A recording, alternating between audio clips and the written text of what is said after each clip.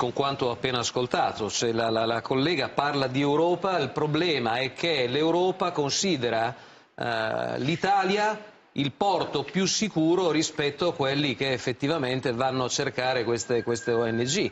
E, e, non è, e non è così tardiva la risposta del, della Spagna, tardiva l'eventuale risposta, risposta, di Malta, però vorrei chiedere a quella persona che, non so, probabilmente fa parte, fa parte dell'equipaggio. il portavoce, il portavoce di Open Arms. Eh no, chiedo scusa, ma non, non ci conosciamo. Probabilmente in due settimane si, si sarebbe potuti arrivare prima in, in, Spagna.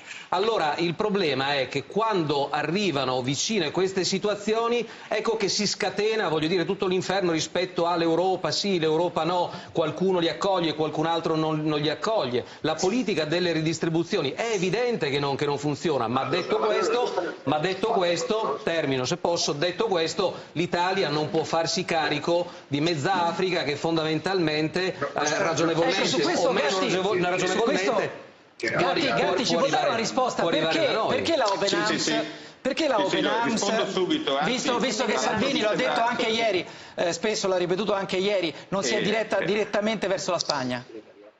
Sì, sì, mi sembra sorprendente che dopo due anni perlomeno che stiamo parlando di queste normative internazionali ancora ci siano esponenti politici che non sanno di quello che stanno parlando. Noi siamo arrivati al porto sicuro a cui si arriva il prima possibile. I soccorsi sono stati eh, in una posizione che cui il porto sicuro eh, a cui si arriva il prima possibile era Lampedusa. Le, le, le, gli obblighi internazionali non solo delle, degli equipaggi ma anche dei governi è sbarcare il prima possibile le persone in un porto sicuro. Il porto sicuro è Lampedusa, quello non si sta facendo ci sta dicendo che ci metteremmo in due settimane che siamo stati qua, saremmo già stati in Spagna, ma non è quello il punto. Il, il, punto è che siamo fuori da due settimane perché si stanno incompiendo, si stanno violando quelle normative e quegli obblighi internazionali a cui l'Italia è firmataria. Perciò che adesso a livello di propaganda, probabilmente politica, si stia dicendo no ma guardate che in due settimane sarete arrivati in Spagna, è vuoto e tra l'altro sorprende che continuate con questo messaggio totalmente fuorviante dopo anni in cui è stato dichiarato e documentato e in cui ci sono state anche tra l'altro delle risoluzioni anche a livello di, di, di, di, processi penali o di investigazioni penali che dimostrano tutto ciò. Perciò